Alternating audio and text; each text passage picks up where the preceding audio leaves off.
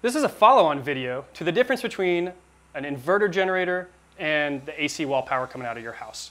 I wanted to do a deeper dive on the instrumentation, the hardware and the software that I used to make those measurements. Now you saw in that, if you haven't seen that first video, there's a link in the description so you can go back and watch it. And if you have seen it, you saw that I used the same setup, so my laptop, hardware, and the same software program, and I moved between an AC wall outlet, an old inverter that I plugged into my car, and then the new, the new generator that I just bought that's an inverter generator that I've got running actually right now in my front yard.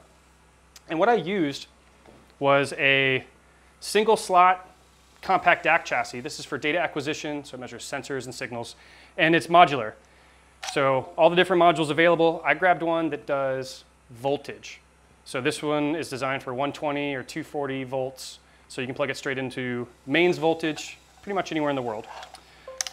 It's USB powered, so that's why I've been able to walk all over and just plug it into my laptop, which has been nice and convenient.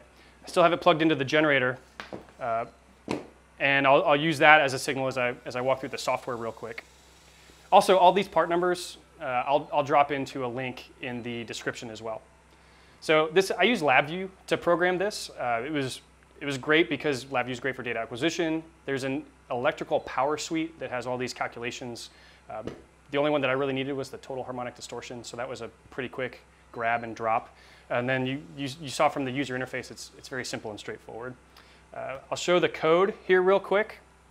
Uh, it's just a simple top loop doing the data acquisition and then sending it over a queue to the consumer loop, so it's a producer-consumer setup.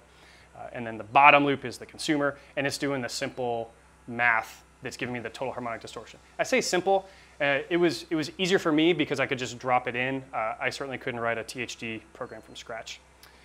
Okay, so go back to the front, and you saw this in the first video, but if I run it, I've got a nice clean sine wave, and I have this rigged to do uh, zero cross detection, and then I can just select how many cycles I want to I want to view, so I can just different ways to look at the at the waveform. I'm trying to reproduce uh, a power scope.